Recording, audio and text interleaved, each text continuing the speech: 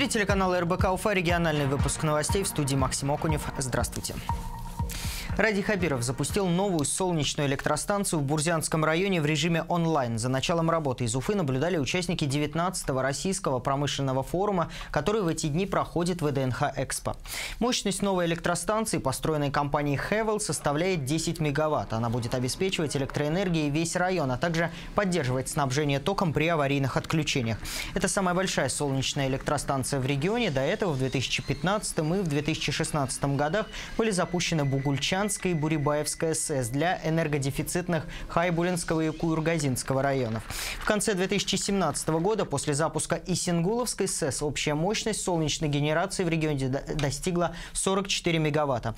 По словам Радия Хабирова, солнечная электроэнергетика не панацея для республики, однако это направление будут развивать и впредь. Альтернативные источники энергии – это не базовое решение системы энергетики нашей республики. Мы занимаемся по базовым решениям, и у нас есть крупные проекты, которые мы сейчас прорабатываем с Интерау, и это одна часть работы.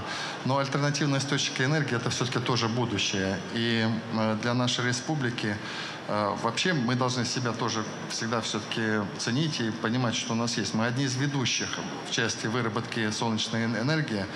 Э, в Российской Федерации. Плюс еще у нас то, что мы сделали, мы на этом не остановились. Вот в моменте, в моменте у нас идет строительство довольно большой солнечной энергостанции в Стрелебашском районе, там на 15 мегаватт. Поэтому э, мы будем строить, наши условия климатические позволяют.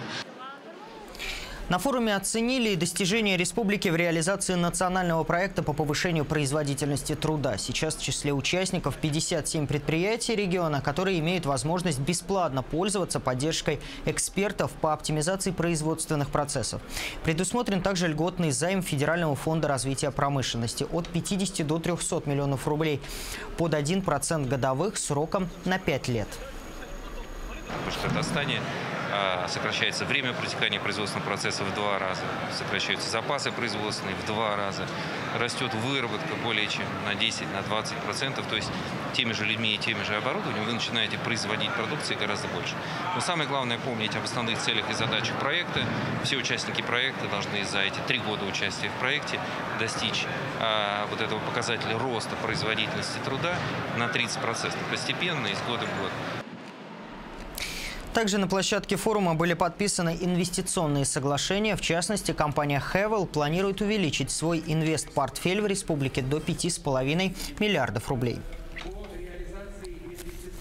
Центробанк вернул нулевые комиссии для банков по системе быстрых платежей. Такая мера должна побудить банки брать минимальные комиссии с клиентов. Льготный период продлится продлится с 1 апреля 2020 года по 30 июня 2022.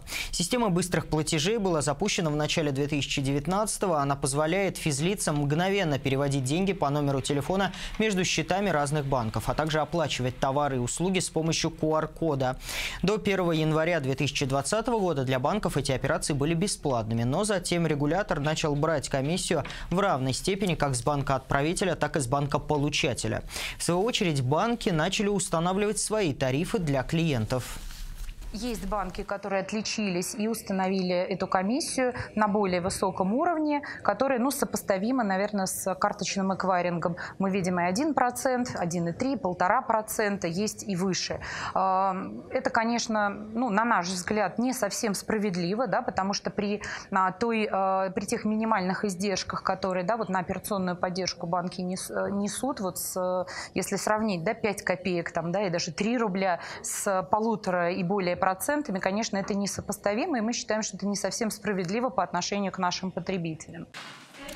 Но стоит сказать, что льготный период должен побудить банки брать минимальные комиссии со своих клиентов. Изменения не коснутся транзакций между физлицами в пользу юридических лиц и на платежи в пользу индивидуальных предпринимателей.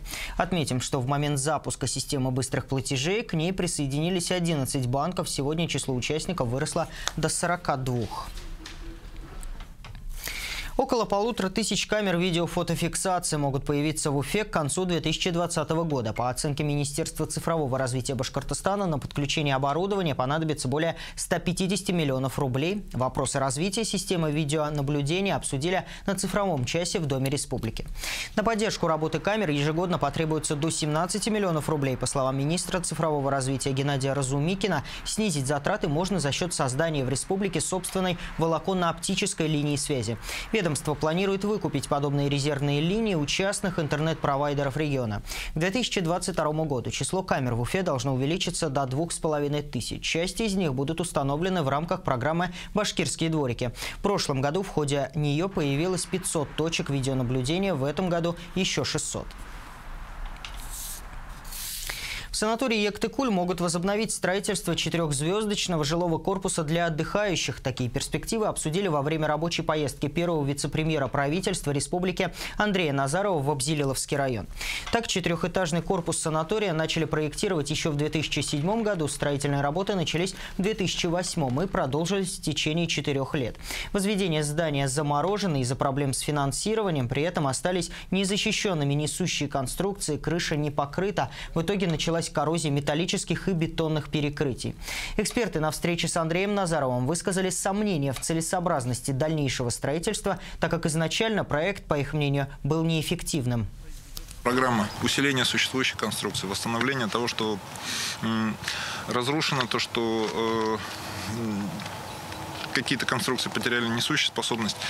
Э, мы не решаем основную проблему этого здания, его неэффективность. Вот. А, соответственно, стоить это будет примерно столько же, сколько новое строительство, а экономики в этом всю экономику построить на, 50, на 26 ключах ну, менее перспективно, чем, например, на 50. Итоге эксперты предложили разобрать то, что уже построено, и начать строительство с нуля, так как с их точки зрения расходы будут соразмерными. При этом новое строительство будет планироваться с учетом увеличения количества номеров. Первый вице-премьер предложил обсудить эти вопросы на ближайших рабочих совещаниях, в том числе обратить внимание на развитие детского отдыха в санатории Ектыкуль. И на этом наш выпуск подошел к концу. Оставайтесь на телеканале РБК Уфа.